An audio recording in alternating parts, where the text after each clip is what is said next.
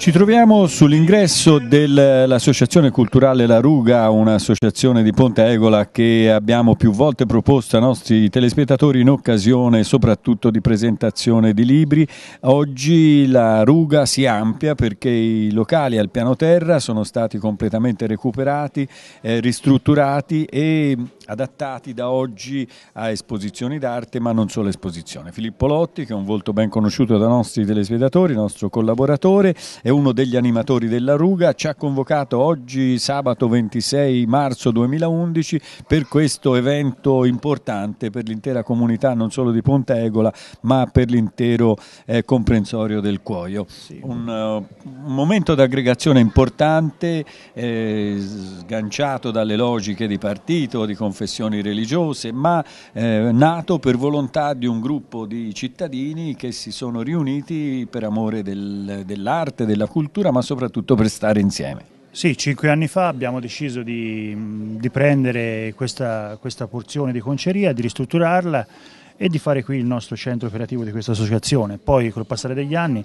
l'appetito mi è mangiando e abbiamo, si accavallavano anche diciamo, gli interessi, ci richiedevano diverse cose, corso di cucina, corso di ballo, corso di computer e altre cose, quindi abbiamo deciso di ampliare i nostri spazi, come recita lo slogan ci siamo fatti in due, quindi abbiamo raddoppiato gli Quanti spazi. sono i soci della Ruga? Ma I soci sono molti, sono oltre 200, ma diciamo che i, quelli fondamentali, nel senso quelli che, che fattivi, si, diciamo, fattivi si danno da fare. Siamo, siamo, compreso io, una, una decina, quindi diciamo la forza di pochi per dare a molti. Ecco. Benissimo, la inaugurazione... Scusa se mi permetti, l'importanza come hai detto tu di, per il paese, per il tessuto pontegolese che abbiamo eh, inaugurato ora questa nuova sala intitolata Marianella Marianelli che la chiamavo zia Marianella anche se la parentela che ci legava non era così, così stretta però un personaggio importantissimo per, eh, per la nostra comunità, diciamo un punto di riferimento una scrittrice, una poetessa, quindi un punto di riferimento per noi. Bene, e proprio nel pomeriggio l'assessore alla cultura e vice sindaco di San Miniato,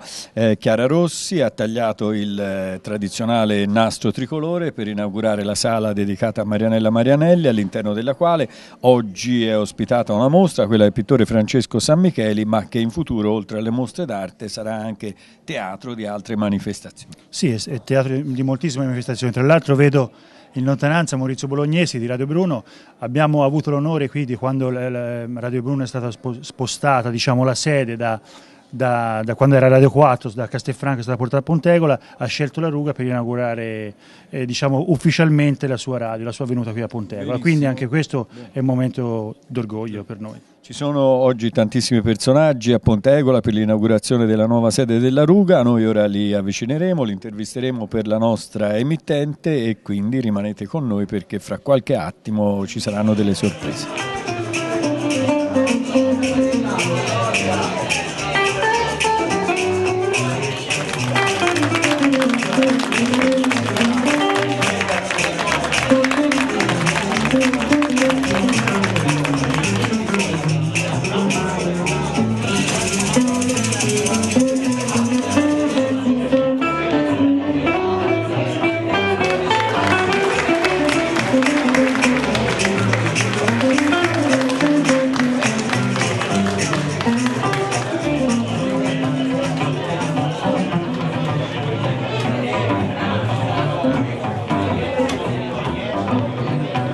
È stata Chiara Rossi, assessore alla cultura e vice sindaco del comune di San Miniato, a inaugurare ufficialmente la sala Marianella Marianelli. Eh, Marianella è stata anche lei assessore alla cultura del comune di San Miniato, entrambe originarie di Ponte Egola, quindi per te oggi un doppio motivo d'orgoglio. Esatto, un motivo di orgoglio, ma è un motivo che appunto risale già all'inizio della mia investitura, diciamo così, istituzionale. Raccogliere un testimone come quello lasciato da Marinella è motivo di orgoglio appunto ed è una sfida comunque, una sfida che ci spinge veramente ad essere migliore ad investire in cultura, a fare formazione nei confronti dei nostri ragazzi. Marinella è stata un, un esempio straordinario, una donna inimitabile e ogni giorno, io parlo appunto come assessore, ho modo di toccare con mano tutto ciò che Marinella ha creato a livello anche di iniziative culturali per il nostro comune. Anche se Marinella è stato un personaggio molto conosciuto non solo nel, eh, nel distretto del Cuoio ma anche nella provincia di Pisa e anche a Firenze, ricordiamo per i telespettatori che ci seguono magari da altre località della Toscana chi è stata, è difficile identificare, circoscrivere in pochi minuti una personalità così importante come quella di Marinella, però ricordiamo che oltre a essere stata assessore alla cultura ha avuto numerosi incarichi anche a livello provinciale. Allora, io più che altro rimanendo su un territorio anche però locale vorrei rimarcare una cosa che magari spesso passa un po' sottotono ed è invece il fatto che Marinella ha dato vita anche al centro studi sulla civiltà del tardo medioevo perché è un unicum su scala nazionale. Per cui Marinella diciamo che ha dato l'input e l'incipit a creare questo organismo che appunto è unico su ripeto, non su scala locale, ma su un piano strettamente nazionale. Ricordiamo che Marinella è scomparsa da poche settimane e quindi era doverosa questa intestazione e credo che preluda questa intitolazione all'utilizzo culturale della sala. Sì, indubbiamente io colgo l'occasione per ringraziare la Ruga per l'attività di aggregazione, di promozione culturale che svolge sempre sul nostro territorio e eh, in questo appunto ci aiuta proprio in quello che è il compito anche di un'amministrazione di formare, educare e quindi veramente un ringraziamento perché eh, so, sono straordinari. Eh, voglio chiamare qui l'attore Andrea Giuntini che ci leggerà per omaggiarla e per eh, dare la nostra eh, benedizione mh, mm, così come dire a Marinella. Per 40 anni ho regalato, ho venduto parole pagate sempre assai poco a ragazze e ragazzi come voi. Per 40 anni ho dato qualcosa, questo io spero. Molto ho ricevuto, di questo sono sicura. Non c'è deficit nel bilancio. Parlo a voi per parlare a tutti i giovani incontrati nel giro di un tempo assai lungo, che ha chiuso ed ha aperto speranze. Saluto voi per salutarli tutti, col rispetto che il maestro deve all'alunno, col tenero affetto che la persona matura deve a chi, ancora cerbo, nel gorgo della vita si va avventurando. Quella che vedete è una delle bellissime, delle simpatiche diciamo, sedie gialle che da oggi arredano gli ambienti della Ruga. La prima sedia però purtroppo non c'è più perché eh, vi si è seduto sopra Giorgio Ariani, ospite d'onore di questa manifestazione e si è dovuto trovare velocemente una sedia rinforzata Guarda, mi ha detto, guardi ora la, la, sindaco, insomma, questa donna simpatica, l'assessore alla cultura, l'assessore alla cultura mi ha detto, dice, Saglia il nastro, lei la venga dentro, dice. mi sono messo a sedere e la sedia l'ha fatta. Wow! Ho detto, ragazzi, di orsa rimedia la culla a terra e stavo buffo perché, ah sa, ma tutte le vie si sono son venute via capito? Totale. Guarda, devo, intanto dico subito una cosa che è bello di questo ambiente. Un signore mi ha detto, mi fa per piacere una dedica su questo eh, opuscolo, le rughe, no? Cioè, che io, io ho messo, è proprio tempo di rughe.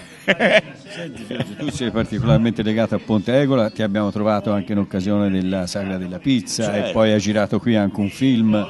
Sì, ma, è, ma io eh, sono, guarda, ti direi sono attaccato a tutta la Toscana, ma in questa zona è, è talmente facile da casa mia, da Montespertolo, arrivare qui. Infatti dice, la trovava subito la strada, fino a Ponte Egola sì. Poi per trovare no, la ruga è un po' più... Per trovare la ruga le stiamo eh, infatti meno male Fabrizio Illotti mi è venuto a, a, prendere immediatamente perché ero fermo davanti alla chiesa. Cioè. Senti Giorgio, in questi giorni sta battendo ogni record in incasso, amici miei, come tutto è Benizio, del quale tu sei uno dei protagonisti, uno dei vessilliferi della nostra regione, Guarda. insieme a Paolo Endel, Alessandro Benvenuti, a Ceccherini eh, a Massimo Ghini che anche se è nato a Roma è figlio di una toscana di San Casciano, Certo. quindi lo possiamo considerare uno dei nostri. Sì, sì, ma io guarda, ti devo dire la verità, l'osservazione più giusta di- su questo film, viste anche le polemiche, me l'ha fatta Moreno Roggi e tu glielo puoi domandare così, dico anche il nome apposta, perché mi ha telefonato, mi ha detto a me le è piaciuto e ti spiego anche una cosa, in questo periodo dove ci sono tanti di quei problemi nel mondo, proprio tutti i giorni, morti, morti, terremoti, eccetera, dimmi come si fa ad andare a vedere amici miei e ridere. Era tutto un altro periodo meraviglioso poi oltretutto come film e come i primi tre, insomma si sa, bellissimi eccetera, però eravamo disposti a ridere. Le zingarate avevano un senso. Io ho detto eh, alcuni nomi degli eh, attori toscani che eh, sono stati scelti dal, dal- dal produttore, dal produttore Aurelio, però dobbiamo sottolineare la bravura di Neri Parenti che è, uscito è riuscito a far dare il massimo, c'è un Ero Spagni strepitoso, Pamela Bravo. Villoresi, stre- delle- Guarda, anche io... nelle parti minori la Katia Beni un altro ruolo. Bravissimo, ma guarda che Neri a me ha colpito poi per eh, la praticità, la sintesi. Te devi sapere che quell'episodio del mercante di schiave c'era stato cattivo tempo fino a mezzogiorno e mezzo. Era già disposto a dire non si può girare, la si girerà domani, ora si vedrà, eccetera. Come si è aperto un raggio di sole dopo la pausa, e che vuol dire alle tre, tre e mezzo, lui ha detto, ci si prova? Ma guarda, le, le- veramente, questo a me che fa piacere dire, è questa la regia, senza perdere tempo. Sei soddisfatto di questa? Lavorare con un produttore come De Laurentiis e con un regista come Neri Parenti? Ora tu sai che io ho in, in batteria questo film mio e ho approfittato dell'Odeon per parlare un attimo anche con Aurelio, visto che il produttore, quello che mette soldi, il Aldo Mollica, è nipote di Vincenzo Mollica, e è proprio amico con Aurelio De Laurentiis, sicché io ho detto, bah, bene, perché poi sai... Allora noi aspettiamo questo film, il titolo l'hai già scelto. Disordine perfetto, sì, sì. Eh, Intanto sì. ti ringraziamo. Noi ci rivedremo qui a Pontegola alla Ruga perché verrà presentato un libro eh, dedicato al primo Amici miei Bravo. e quindi tu Scritto sarai Fabrizio Borghini e io farò da testimonial perché poi con Fabrizio c'è un'amicizia lunga da, da Prato, anni. Eh, da, diciamo vent'anni fa. Eh, bravo, È stato eh, uno dei ma- primi ospiti di una delle mie prime trasmissioni. È vero, ma poi lo Hai sapete portato fortuna. e che c'è di, di bello mh, chiudendo questa piccola cosa e magari la chiudo visto che c'è le rughe con una battuta su- sulla gente della terza età. Le, lei che la professionalità c'è in Toscana, c'è a Roma, c'è a Milano, c'è un po' da tutte le parti. Quando è professionalità? Si fa tanto polemica sulle veline, ma la preparazione alla fine paga e lo studio, lo dico soprattutto ai giovani. Tornando alla ruga, questa signora anziana la va dal dottore, dottore sono piena di dolori. Dice, signora quanti anni ha? 78, dica 33. Ma, ma che ci crederanno?